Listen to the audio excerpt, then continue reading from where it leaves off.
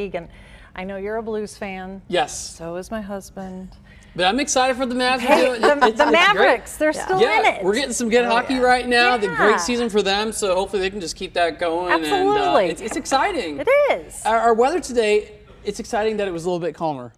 Because yesterday's weather was exciting, but not for great reasons because it was just so windy. Now, we do have some more weather coming in tonight as far as thunderstorms and possibly some severe storms. So here's what to know late this evening, primarily after 10 or 11 into the early overnight hours, some scattered thunderstorms are going to develop. And if those storms can fire, large hail will be the main threat then. That's going to be round number one. Round number two is going to push in a little bit closer to sunrise tomorrow. That'll be more so a line of storms and strong wind gusts and possibly some embedded small hail.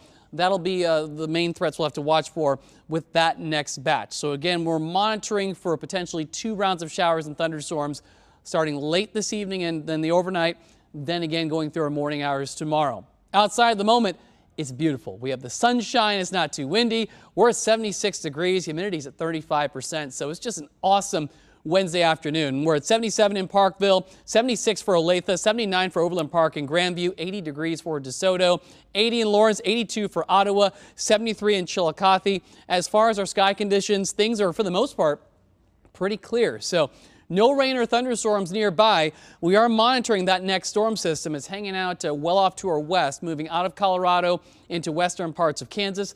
That system is going to eventually bring some energy for thunderstorms to develop. Along that warm front, you see that, that red line, that's going to lift northward. In this area that I've circled, that's where storms will eventually fire late this evening into tonight. That's also the area that we're monitoring for severe storms to develop later on this evening and could see some redevelopment into the morning tomorrow. So for your evening plans, next several hours are fine. Temperatures are going to be in the 70s. Try and get outside, enjoy it if you can. We might start to see a few storms around 10 p.m. A little bit of a better chance getting closer to midnight, and that's why you see that weather impact there as those storms at that point could start to turn severe.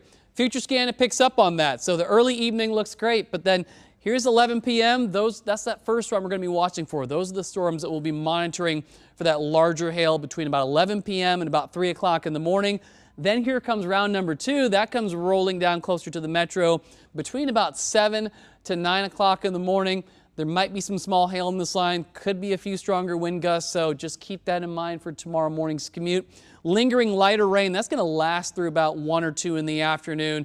And you see all those blue arrows there? We'll have a chillier north breeze. So you'll need your umbrella in the morning, where we'll be watching for some stronger gusts early, weather impact through about 1 o'clock. Notice your temperatures here.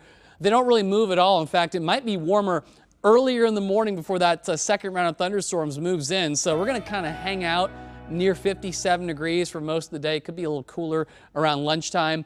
Then on Friday and Saturday, lingering clouds for both of those days. Highs will be in the middle to upper 50s. So that cooler weather, it's going to stick around once it rolls in tonight and lasts all the way through the weekend.